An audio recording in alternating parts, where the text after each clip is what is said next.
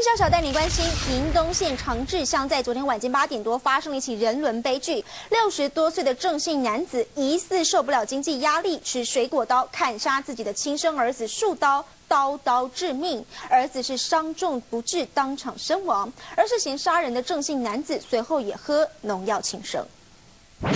铁窗啊！面对现场拉起重重封锁线，监视人员来回穿梭，现场拍照搜证，不放过任何蛛丝马迹。案发地点就在屏东长治乡，平常这里夜深人静，现在却传出恐怖命案。案发现场留下郑姓男子吐出来的农药残留液体，当时他先拿水果刀狂刺自己儿子数刀，接着再喝农药轻生。社会的边缘户啦，因为也在申请那个低收跟中低的情形啦，目前是这样。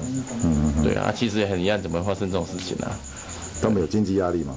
经济压力当然是有，坦白讲，经济都不是很好。无论悲剧为何发生？警方目前还在调查。涉嫌行凶的郑姓男子领有低收入补助，疑似受不了经济压力，和儿子同归于尽。被砍杀的儿子当场没了呼吸心跳。下手行凶的父亲目前还在医院紧急抢救当中。